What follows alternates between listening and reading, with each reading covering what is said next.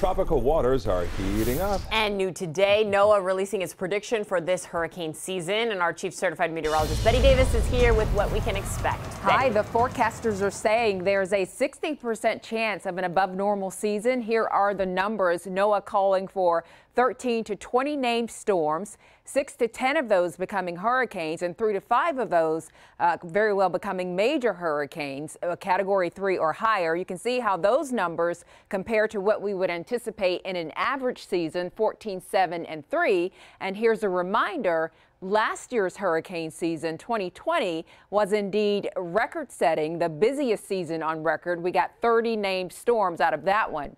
Now, already it's not even June 1st, and we're looking at this non tropical low pressure system east northeast of Bermuda. This right here may very well become subtropical storm Ana at some point on Friday. Forecasters are giving it a high chance of developing.